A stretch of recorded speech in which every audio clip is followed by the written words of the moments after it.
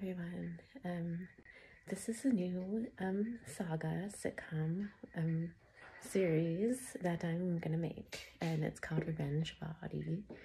Um, no trademark. Um, I'm not trying to take anything, but um, it really describes how I feel.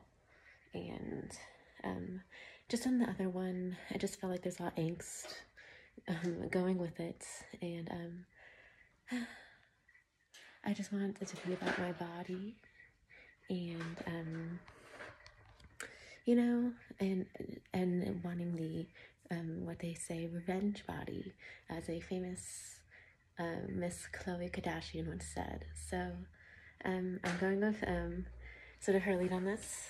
I really in ways do look up to uh, her and that family.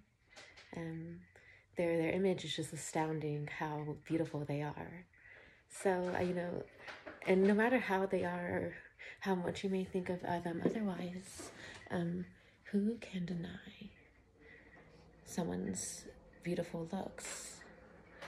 Um, and just admire that, honestly. Um, I'm not sure I could be weight on this, but I did weigh 124 today, and um, I worked out. Felt feels good. The did the booty buster and the arms and the legs and the torso.